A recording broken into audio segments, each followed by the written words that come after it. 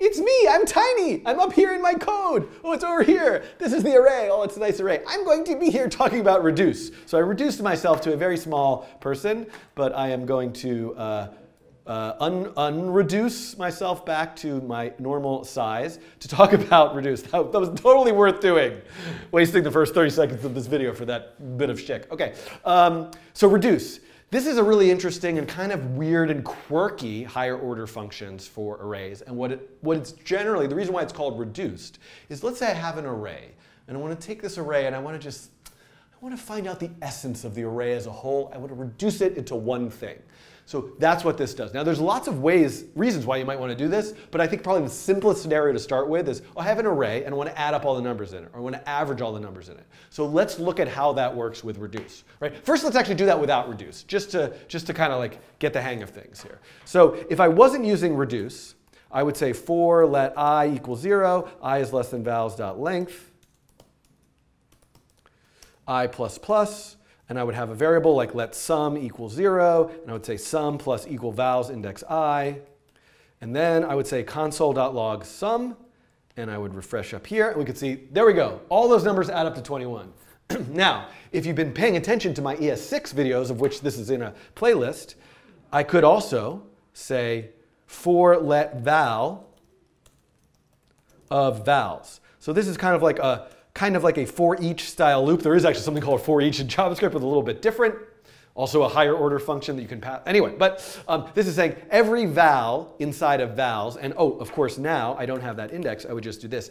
Add them all up together. So this is reducing it a little bit, reducing the code a little bit. And if I hit refresh, I've also got 21. All right, so let's look at how this reduce function works. And actually, before I write the code, let me come down here and let me go and look at the documentation. So I'm going to look at reduce. So reduce is a function that has, that takes two arguments. And there's a way of doing it with one argument, which I will get to at some point, an accumulator and a current value. What does that mean? Accumulator and a current value. Accumulator and a current value. So this is not, reduce takes a function, it's a higher order function. So let's write a function that has both a uh, an accumulator and a value. So I'm going to get rid of this code, and I'm going to say function, and I'm going to use ACC for short for accumulator and val for value. And I'm going to say return accumulator plus value. Hmm. Hmm. Hmm. Okay. Return accumulator plus value. I think this is right. Oh, and let me name this called, I'm going to call this sum. Now I'm going to say vals.reduce sum. And I'm going to say let result answer equal that and I'm going to say console.log answer. And I realize I kind of just typed this out and I haven't really explained it yet because to be honest, I'm not entirely sure what I'm doing just yet. But hopefully this is going to make sense that I can back, it's going to work and then I can back up and explain it. Let's see. Ah, I got the answer 21. Okay, so what does this do? Well, do you remember when I, ah, ah let's, let me go back to my old code. I'm going to just quickly copy this. Going go back to here. What if I actually called this ACC short for accumulator, and then said ACC plus equal val. Well, the accumulator starts with zero, and then every val is added to it over and over again. this is the idea of reduce. You give it something that's going to persist over time as it's looping through ele every element of the array.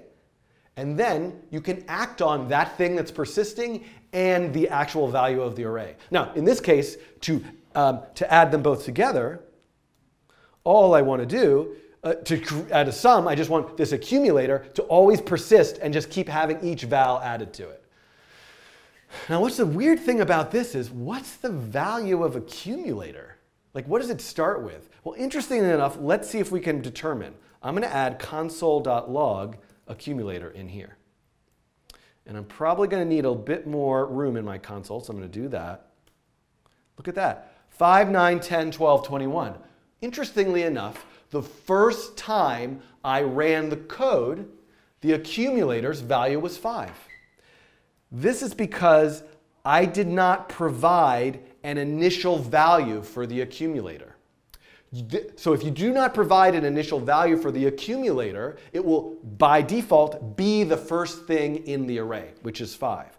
Notice now, if in here I say reduce sum, and then I pass a second, a second argument. So sum is this function, that's, the, that's what I'm passing to reduce, but there's an optional second argument, which is referred to as the initial value. So if I want the initial value of accumulator to be 0, I didn't have to do it for this problem that I'm solving, but I could do that here. Now I'm going to hit refresh. And oh, and let's look at what it did. Notice that it started at zero. So I have an extra console log. It actually it didn't actually bother to run it with the first value because it just started accumulator as that value, but the previous time, but now it's doing that. So just to be, make it clear, if I say 10, right? If I start accumulator at 10, can take this out. What should the, think about pause and think about what am I going to see in the console. Refresh. 31, right? Because I added all the numbers starting with 10. Okay. How can I condense this now? Well, first of all, I can use the arrow syntax. I can get rid of the word function. I don't need it to be named. And it's one line of code, so I don't need the curly brackets and I don't need the return. So this actually can now go right here. And this is now, I'm going to give myself a little more space. This is the full line of code. I can say, hey, take this array and reduce it with an accumulator of a starting value of 10, and for each value, add that value to the accumulator. Okay, so in this case though, if I really just want to calculate the sum, which I can call this sum, I don't want to start with 10, so I'm going to do this. And just to be aware, just to say it again, this is very important, especially once you start having like arrays of objects and other things. The accumulator, if you don't give it an initial value, is not starting with like a default value of zero. It's actually starting with whatever the first element of the array is. So if you ever see this code, and I'm going to do this soon enough in a future video, where this is an array of particles, I might want to do something to say, calculate the average, the centroid of all those particles. I'm going to have to be clever about how I think about doing this. Okay, now, uh, the chat gave me a good suggestion, which would be to find the maximum or the minimum of, and of course there is, I think, in P5 I know has a min and max function. There's probably a native JavaScript one as well. But let's try to do that. Let's try to find the minimum and maximum using reduce. So let's, I'm going to write it out the long-winded way because this helps me. I'm going to say find max. And actually, this is great because this relates to some of my uh, neural network videos that I've been making, um, where I'm, I'm going to have an accumulator and a value. Okay, now if value is greater than accumulator, accumulator should equal value, right? Accumulator doesn't have to just be a thing that's you're adding up together. You're saying it's just a variable that's going to persist while I'm going over the whole array. And value is each one. So if that current value is greater than whatever the accumulator is, then I'm going to get, um, then accumulator should equal that value. And then I guess, do I want to, do I need to return the accumulator? Or does that by definition, no, yes, I need to return the accumulator, I think. So let's see. let's take a look at this. So let's say let biggest equal vals dot reduce find max. All right, so and then uh, let's console.log biggest. Nine. That's the log. Now, let's put nine in the middle because just to be sure that it's really working because it was the last element. Nine. It still worked. So I definitely need to, and if I take out this return accumulator, yeah, I don't get it. So of course I need to return that, right? Because the whole point is I am going to return at the end. It's kind of, you sort of get into it being assumed that value that persisted over the whole time. Now, how can I reduce this? So first of all, I can make this, as we know, an arrow function. So let's actually do this. And I'm going to put this here now into here. So this works. This is a little bit awkward looking, but this is definitely kind of functional style. I'm going to reduce, the, I have an accumulator and a value. I'm using the arrow syntax and running this code. Let's make sure this still works. I get 9. Now, I could probably use, I think it's called a ternary operator if I wanted to be this crazy person who is, um, crazy person who is reducing, um, who is like, so if I want to be this crazy person who's like always trying to get the code to be shorter and shorter and shorter, let's try to remind ourselves what a ternary operator is. So, but this, okay, so this is an if statement. If A is greater than B, B equals A. But I could also sort of think of this as if A is greater than B, I might say like return, right? If it's greater, A is greater than B, then A is the, the new bigger value. Otherwise, return B is the new bigger value. So this kind of statement can be written in with a ternary op operator by saying question mark A colon B. So I can get rid of, I, I don't like what I'm doing today.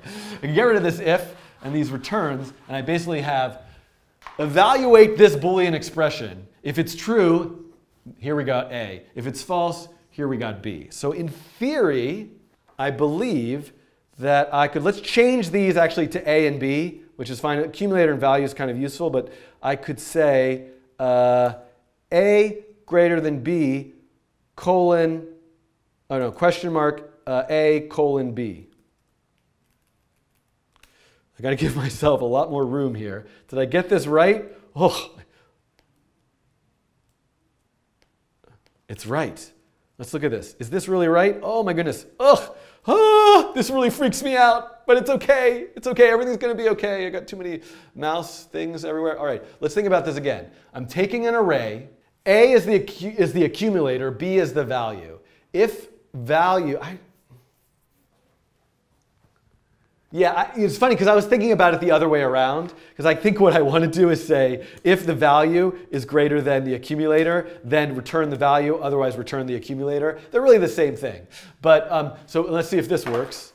I should get 9. 9. I still got 9. So the idea here is that I'm saying reduce this array. Have a, have a variable called a, the accumulator, that it persists over time, and then look at every value b in the array. Start with 5. If B, if, it's, if 4 is bigger than 5, that's your new accumulator. If 9 is bigger than 5, that's your new accumulator, which it is. If 2 is, oh, no, is 2 bigger than 9? No. Is 1 bigger than 9? No. I'm left with 9. So, ah, hopefully this is kind of helping you. These are two scenarios now. We've now seen where this is like a nice little snippet of code to find the largest value in an array. And this is a nice little snippet of code if I put it back to find the sum of all the values in the array. And both of these, the initial value is, is, is assumed. For example, just to be clear about this, what if I put 20 here? If I put 20 here, if the accumulator starts as 20, what am I going to see? 20. And then the sum is 21, right? So it's going to be 20 because none of the numbers are bigger than 20. So this could also be a test like, hey, Find me the maximum value in the array, but if nothing is bigger than 20, just stick with 20. So, but if I said, if I said 8 here, I'm going to get 9, right? So this initial value is assumed to always start with 5, but unless you explicitly initialize it as something else as the second argument to the reduce function. okay. So Boy, I don't know how I feel about these functions, but at least I've covered them. I've tried to explain them. You should let me know in the comments, because I don't know, I felt pretty good about map. I felt like if you're watching that video, it made sense, you could find use of it. This reduce one is really confusing, and it takes a lot of practice, especially as we like condense it short and short with the arrow function. So let me know how that goes. I, I'm going to use it with a particle system um, in a future video that'll hopefully be linked from here somehow in a magical way. Um, so that might give you more of a sense as you see it uh, used in a practical scenario where you're actually doing some graphics and animation. So um, next video, I will talk about filter.